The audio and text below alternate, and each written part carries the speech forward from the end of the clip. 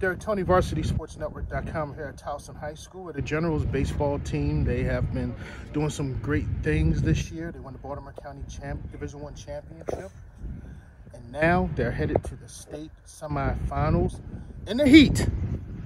One nothing victory over Rockville, and a guy that was bringing heat. He's been bringing heat all year. I nicknamed nick, nicknamed him Baltimore's Randy Johnson. Chase Supensky, who had another shutout performance. Only uh, he struck out six. Um,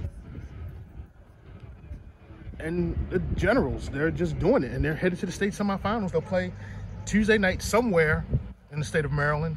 Don't know yet. It'll either be uh, Regency Field or University of Maryland. It's all going to be decided later today. But the Towson Generals are in the state semifinals. They are a win away to head into the state final, which will be next weekend down at Regency Stadium down in Southern Maryland. And we'll, start with the man of the hour, Chase, man. Just talk about today, you guys, again, you guys find ways to win. Another close game, and you guys got it done. Mm -hmm. I think a big part is our, our team chemistry because as we have a lot of seniors, we've grown up like you know a lot of us have grown up playing with each other, but also these past four years we've been playing with each other. So we've been bonding for a while. So we just you know we're close. We know each other well. We have a good time together, and that really helps us be confident in each other and play well.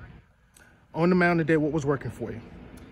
So the first couple innings, my off speed was not great because was working with the heat and the ball was a little slippery. Mm -hmm. But later in the game, off speed got working and I was just locating pitches and that that served me well. Yeah, talk about the heat. I mean, it is, it's at least 95. I may be underestimating because you can feel the humidity as a pitcher. I mean, how tough was that? How long did it take you to kind of get comfortable? Because this is the hottest day of the year so far. I don't typically have a ton of trouble with the heat. So I guess that's lucky for me. When I'm playing with the with the heat, it doesn't bother me a whole lot. So I felt pretty good today. Uh, I don't know.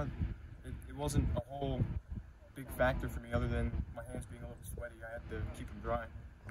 Um, they threatened um, in the third and fourth inning. Take us through those uh, two innings and what got you out of it. So they had a couple runners on, and I just had to make sure that I was mixing up looks and keeping them close to the bag so that way they wouldn't be able to steal and they wouldn't be too far off the bag so that way if there was a hit, they wouldn't be advancing too much. Because if I'm not looking at looking them back very well, they'll take big leads, they can steal, and then they'll just score. And then you just kind of just took care of business, fifth, sixth, and seventh to wrap it up. Kind of take us through that. I mean, what was again, what was working? Yeah, so those last three innings, I got my off speed working well, and I was locating my fastballs and I was just mixing stuff up, keeping them a little off balance, so they couldn't put anything together. Well, here we are now, uh, Chase. Yeah. On to the state semifinals, man. I mean, did you guys picture this when you guys got together for practice uh, almost three months ago? I think it's something we knew we were capable of, so now it just feels great that we, we actually did it. Because we got here last year and didn't win, so it just feels really good to get here again Chase Supensky is one of the best pitchers in the area. He continued his dominant season. He pitches uh, another shutout, and he struck out six as the Generals defeat Rockville one to nothing in a state semifinal. Tuesday night, they will be playing somewhere in the state. We'll find out later today on the MPSSA website as the Generals are now two wins away from a state championship. For VarsitySportsNetwork.com, I'm Derek Toney.